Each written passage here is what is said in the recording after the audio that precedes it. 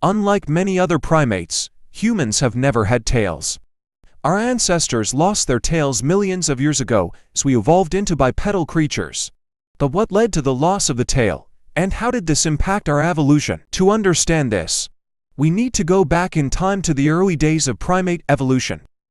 Our distant ancestors, or arboreal creatures, living in trees and using their tails for balance and mobility.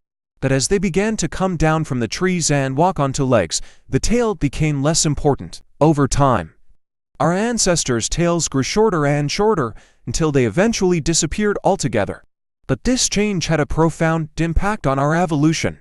With the loss of the tail, our posture changed, and we began to walk upright. This allowed us to free up our hands for other tasks, such as tool making and carrying food. Additionally, the loss of the tail gave us a larger and more complex brain as we evolved to walk upright. The area of our brain responsible for balance and coordination shifted to other functions, such as language and problem solving. So, the loss of the tail was a crucial turning point in human evolution. It allowed us to develop unique physical and cognitive abilities that set us apart from other primates.